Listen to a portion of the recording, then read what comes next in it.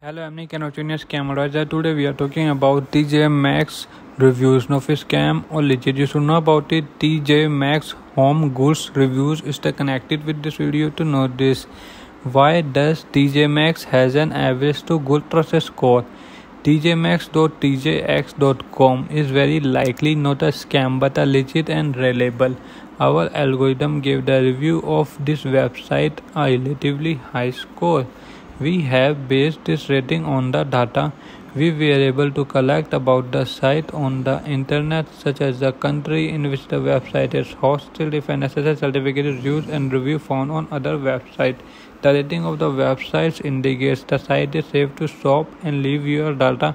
However, we cannot guarantee that the site is a scam. Many websites look legit but are fact in fake. Before you shop at a site, you don't know check the website manually.